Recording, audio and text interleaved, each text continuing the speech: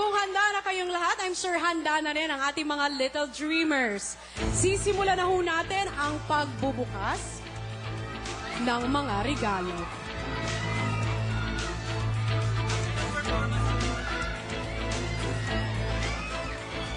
Maaari na ba natin buksan ang regalo ni Christina? Go, Christina!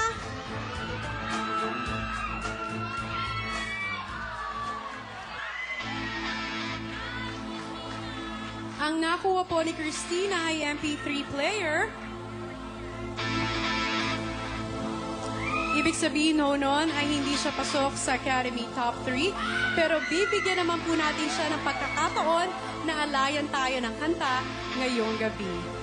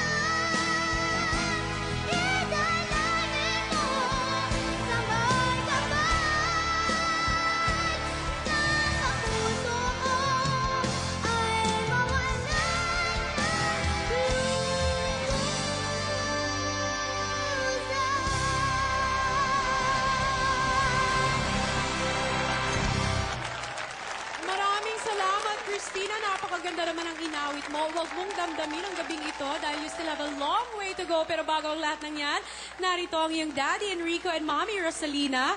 Please join us on stage. Very proud sila sa iyo, Christina.